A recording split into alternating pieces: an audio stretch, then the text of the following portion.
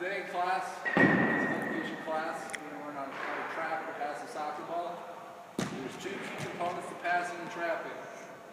One, when you receive the ball, you have to cushion it with the inside of your foot, like so. And when you pass it, I see you pass on the floor, just like that. Y'all know what time it is. All right, make a pass, Ian. Hey,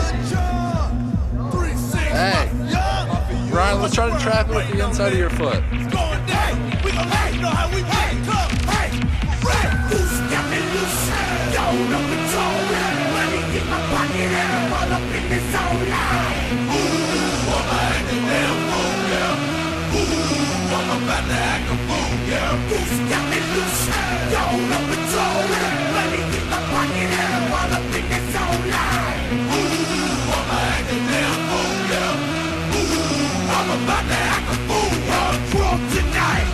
Just got paid.